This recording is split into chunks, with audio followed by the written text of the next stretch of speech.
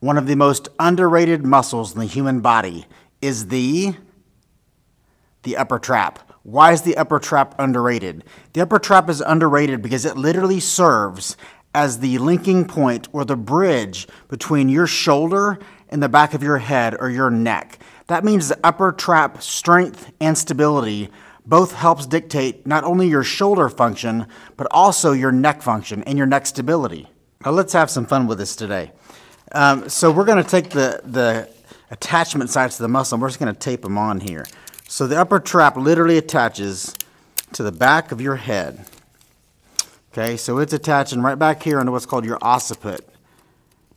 Right there. Okay, and oh boy, let's see if we can get this taped on here just a little bit better than this.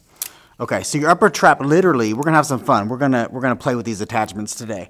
So the upper trap attaches from the back of your head, maybe not quite this high, but about right in here, all the way to about C7T1, and then it runs all the way up here onto your shoulder blade like this.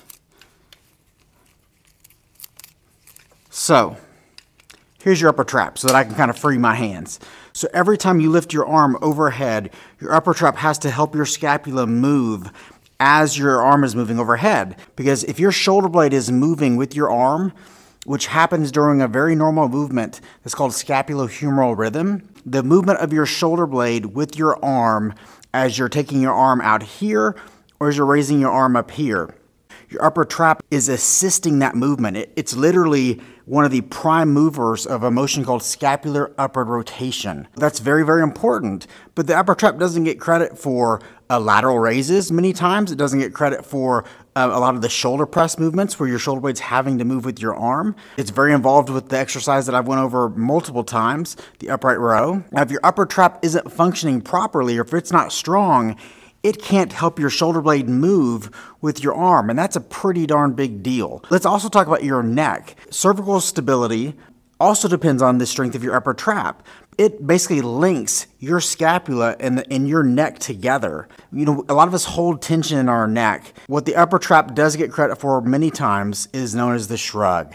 Since your upper trap attaches to the back of your head, we have talked multiple times about when you're isolating a movement, you need one segment to stay still as the other segment is moving around it for maximal shortening.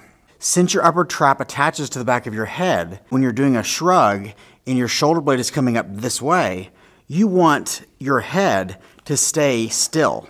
You don't want this segment moving along with this segment. You want one segment to stay still so that the other seg- segment has something to pull off of. So when you're doing a shrug, oftentimes you'll see somebody come up like this and kind of jut their neck out or move their head around.